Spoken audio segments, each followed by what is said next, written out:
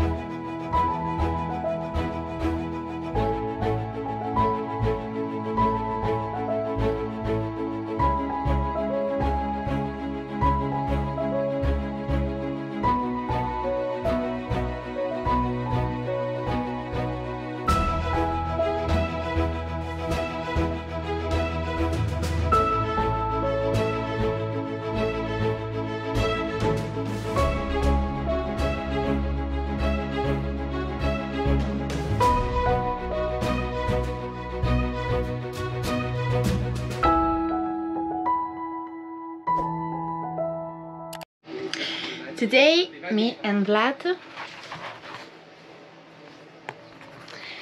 I try to figure out the uh, storage food kambuza. I don't know the name in English, but the stuff you took out with you to eat. this is a lot of stuff, and I try to figure out a way to uh, to put all the all these things here inside. I don't have a lot of space, but I think ah, I can do it. Però mi dai tutto quello che mi serve. Qui ti crei le persone tutta la roba.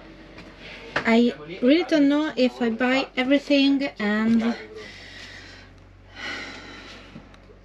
if it is enough. I have the bread stuff like cracker and bread, stuff like that. I have fruit uh, like like this, this deshydrate dried fruit. Oops. Chocolate, a lot of pasta, of course, rice, vegetables, and something like that. Very spicy. Sì, la, la unica cosa con... No, quello sì, però i ragazzi di eh, io riesco... You want to see Vlad trying to figure out a way to jump Quindi noi li chiediamo here.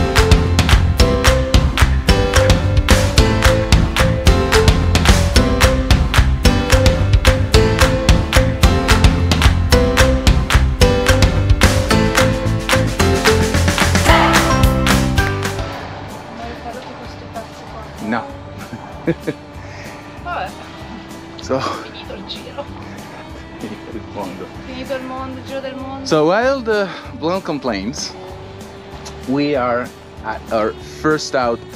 We are gonna test long range. So we are going to go to a little bit on the under Novigrad today, anchor there, and then come back maybe tomorrow, the day after tomorrow. It will take, I believe, about six hours to get there and so we can test everything the off-grid capabilities solar panels power creation and um, and everything else. So yeah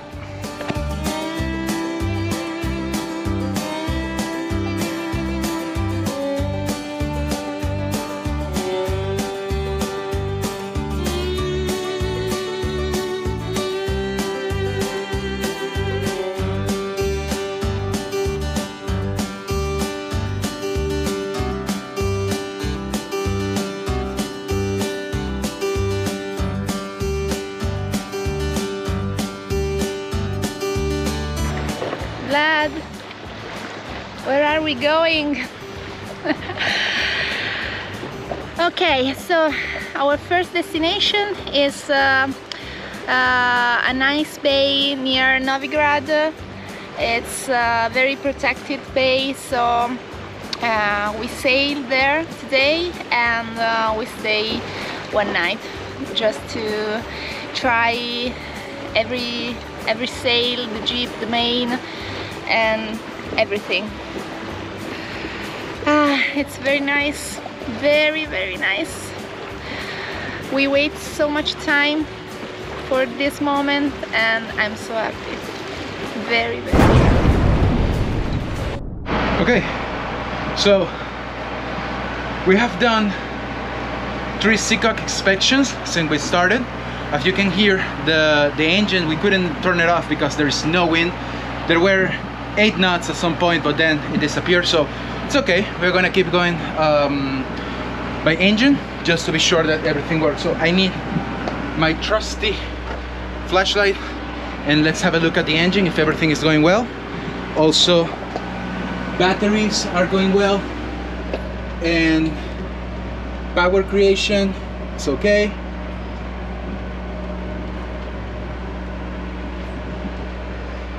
yeah it's a, it's a message from they are doing jobs at sea in um, in Venice. So they, they have been sending that. So I don't think you're gonna hear me but here's the engine room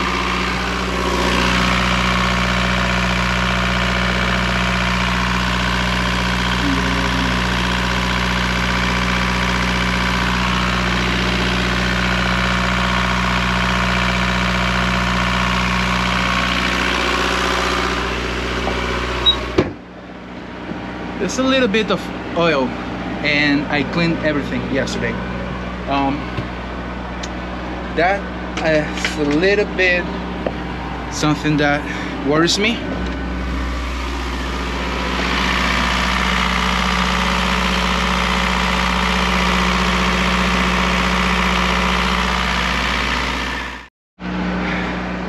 There is definitely a oil leaking problem. We're gonna finish the test. I have oil here, so it's not like we're gonna end up without oil, but that's concerning. It's enough to be concerning. Um, maybe we will end up in the heart again, removing the the engine because it's more than it's, it's more than a, a drop. Anyhow it is what it is as my friend Eddie says. Okay so everything else looks good. There's no water in the bilge which is good. So it's only that issue there that we are gonna try I'm gonna try to fix understand what the problem is hopefully it's just a gasket but we will need to see even just for one second we have wind Just one. just one so let's try turn off the engine for the first time and sail with sail for the first time Ready? let's go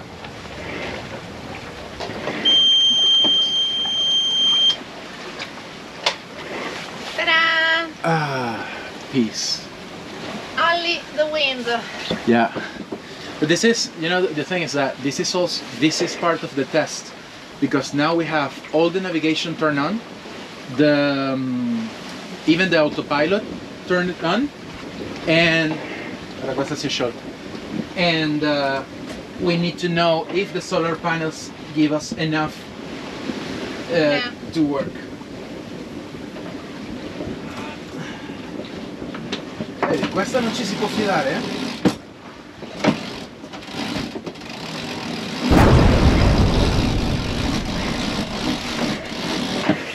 Guarda, guarda, guarda, scivola proprio. Ah, però. Questi qua sono mangiati. Questi dobbiamo, vedi, cose che si scoprono. Questi dobbiamo ordinarli, questi sono mangiati. Scivola via proprio, guarda. Cazzo. Mhm. It's very interesting. Anna. This is why we do thing- tests. Another thing to buy on this boat. Nothing to change. Yeah.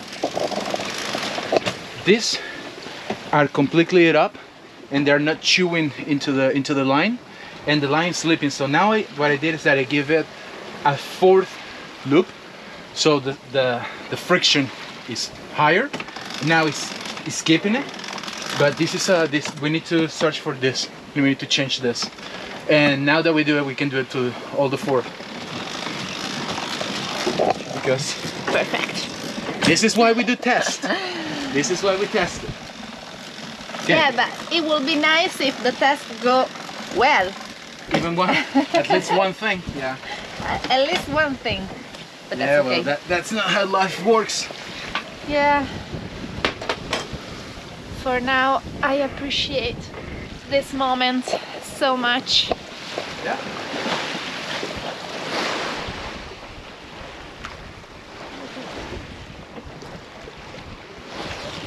So nice. This 5.6 out of out of 10 knots wind, which is it's good. We're doing 5.6 out of 10 knots, which is is really good. Nice. We are not gonna win any American Cups, but No. Actually, this is all you need to cross the, the Atlantic. If you have seven, six, seven knots, that's all. You will be you will be doing the Atlantic in 21 days. If I could sign to do only 10 knots for 21 days, I will sign it right now. yeah. Yeah.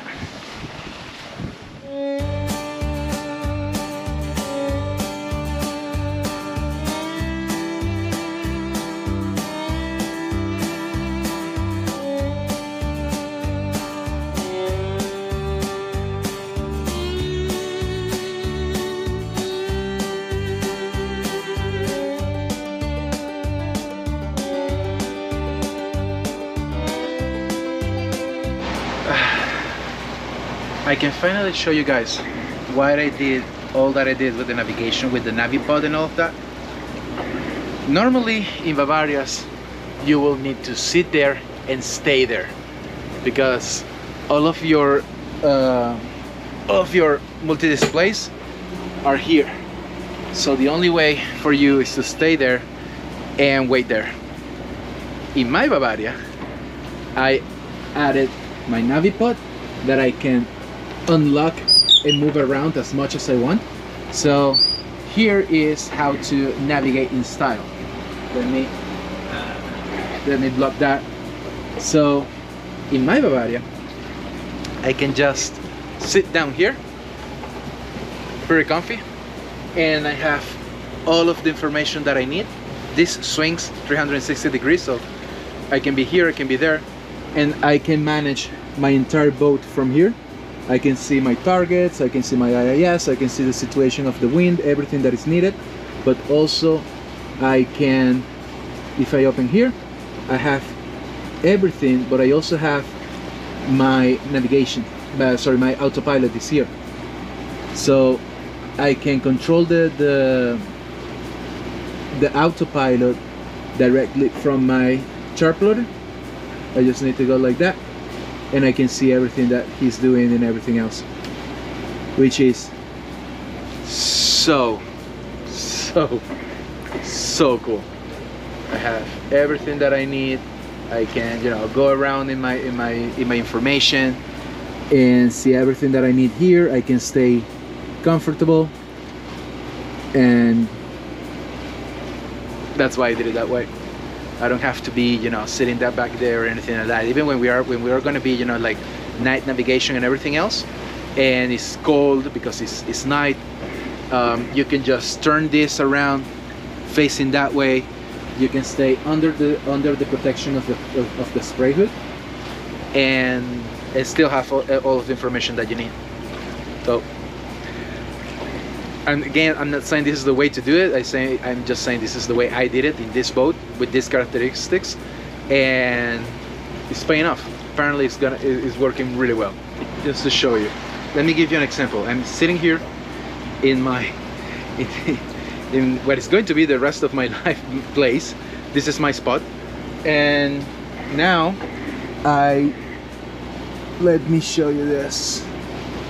Let's say you're navigating. This is how I was navigating before right? This is the, the, the zoom that I was keeping so now I decided to zoom out and I see that I'm going to pass really close to a yellow buoy to change my route I don't even need to stand up and going there. There is the that's where the the main unit of the autopilot is. The the really nice thing about Furuno I imagine I don't know who, who else does it I don't care. This is how Furuno do it you have it on your on your chart plotter here. And I'm gonna change course about four degrees. You can see the boat is already responding. Boom.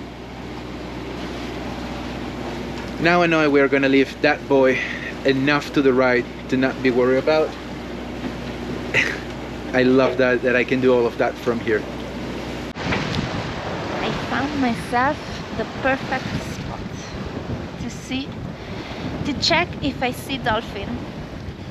It's my mission every time. Look at that. I can see both sides of the boat so if there's a dolphin I'm gonna see it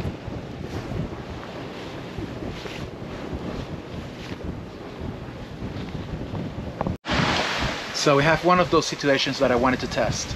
We have there, right there, a guy with a spinnaker, and I I was sitting there in my place, and I saw the guy here. He doesn't have an AIS, so it was the radar who created the target and start tracing it automatically. And now I saw the guy movement, and I started giving him water, but then I saw he he uh, jeep this way. So I start reducing to the to the right. And now I have my alarm because of, of course but now the guy is gonna pass me on the bow safely. And this is one of the things that I wanted to test.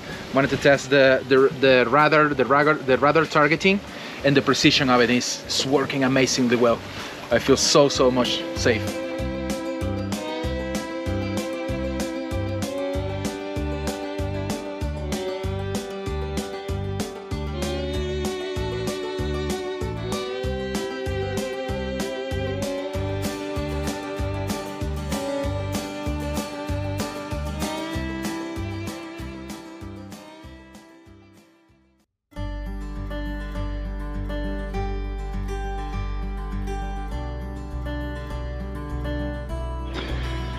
Okay, so we dropped anchor in this uh, small bay that we met, uh, we discovered the first time we came to to Croatia three years ago with the Sith and it's just like an hour so let's say about five uh, nautical miles from um, Umago which is the first port of entry which we don't get anymore because there is no port of entry to do any, any here uh, as we are Europeans but the, the thing is uh, it's a big bay but it is really as you can see it's a, it's a, um, it's a big bay but it is deep enough um, that it is it doesn't look like but it's really protected because at least for the weather that we are expecting today uh, tonight should be coming from those trees that tree line there. So that opening is not a problem. Anyhow just to be sure I dropped uh, 30 meters of chain into 3 meters of water.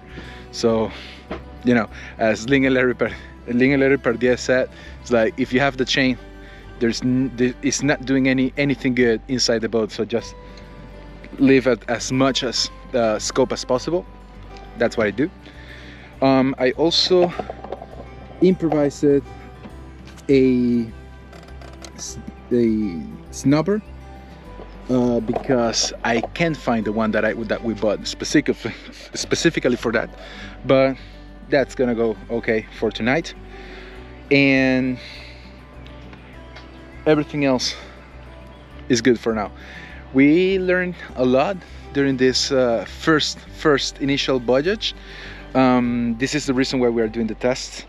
But we have a, a couple of things that we need to add to a list of jobs to do before actually leaving. This is what went well and this is what can be needs to be fixed. Come here.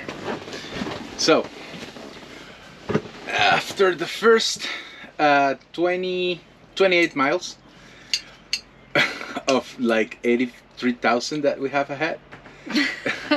Now this is just the, the first day of, of test but um, starting from what went well. The seacocks are perfectly functional and dry. The the water that we found was a residual from before but there is no water coming from the seacocks which is good um, there is no water coming from the seacock that we changed on the sail drive which is good. Um, the sails uh, are good. We uh, we we had around 13 knots top wind but mostly was between 8 and 8 and 10 and everything went well. Opening the um, opening and closing the the the sails went well. Yeah, yeah. um The main. the main works perfectly the new one works perfectly is is perfectly cut for this boat. Um, also uh, electronics work perfectly. Um, the the radar from Furuno and the and the chart plotter integrate perfectly. And we can see everything and you can pour the, the, the wine in the meantime. Um, integrate perfectly the targets are displayed and the all the notifications everything works perfectly there so that's good. And autopilot works brilliantly. It handles uh, the the wind. We didn't have too much wind but still it, it handled it really well. Uh, what else is a positive? The commodity is Yeah. really comfortable the solar panel generate enough enough electricity. So that's good. On the other hand we found a couple of things that needs to be fixed. Uh, first of all the the self-tailing system inside the in the winch uh, let the the rope slip. I think the this you know the the grip part of it it, it have 24 years so Yeah. we need to replace ne- those they never change it. yeah, so we, we, we lost the, the, the, the jib a couple of times. It will unfurl from the winch uh, by itself, so we need to fix that. Um, also, there is a problem on the wiring of the batteries. It's not a problem, but it's a it's essentially they're wired different from the seat. So, battery number one is the house batteries, and battery number two is the engine battery, which is only one. So when we were navigating, I put it on two, thinking it was the house battery, and we drained the battery and all the electronics went out for a moment. But it's already solved, and uh, it's just to remember that one is two, two is one, uh, two is one, um, from what it was on the Sith. The other thing, which is a little bit more concerning, is that the engine is uh, losing oil, and that's something that have been following us since the Yeah, yeah. The There's like- was the same. yeah we don't have a we don't have a diesel engine that doesn't drip oil so hopefully it will be something like a bearing or something like that uh, so it can be fixed without having to unload the the engine from the from the boat but if it's something more serious that will mean at least a couple of weeks wait so let's hope not Yeah. uh, that's one. That's two. Uh, the the third thing is that um, the loop line that I bought for the furling of the main is too skinny so it will slip through the through the winch and you need to put apply pressure to it in order to um, to furl it or unfurl it. But the real problem is that as it is right now I cannot take any uh, rifts on the main because if there is a if there is enough pressure against the the the sail itself it will unfurl. It will slip on the winch and it will unfurl. So that I need to change that that uh, that line there.